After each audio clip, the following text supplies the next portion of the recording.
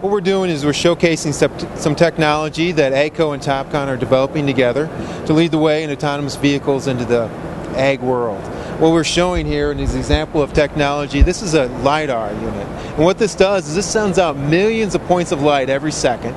And those points of light then hit different objects, whether it's in the field or different vehicles that might be in the field, and come back to it. And it actually measures the time of flight, the time it takes for that light to go out and come back to it. And by that, it can create a full three-dimensional image of everything that surrounds the vehicle.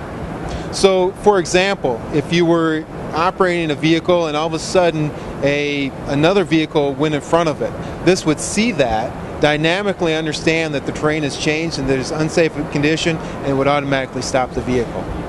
And so this will lead the way to a number of different things that will improve efficiency in the farm operations. Immediately you could see applications for this technology where maybe you put this on a chase vehicle and you had an operator in the cab in the harvester and the chase vehicle had this type of autonomous equipment on it such that it could come up, you could unload it, and it, it, would then automatically go back to the larger truck and unload itself, allowing one operator in the field to maintain a continuous harvesting operation and again improving their efficiency. What we're showcasing is our R&D efforts. So this is research equipment that we're developing in partnership with AGCO the first steps that you'll start to see some of this technology come on the market is in the one to five year time frame and for fully autonomous farm operations you're looking more in the five to ten year period uh, we've been working on this with AGCO for over the past year, and the technology behind this has been developing with Topcon for over the past five years. We're a leader in, in GPS information, we're a leader in optics, and we're taking a lot of that technology that we're developing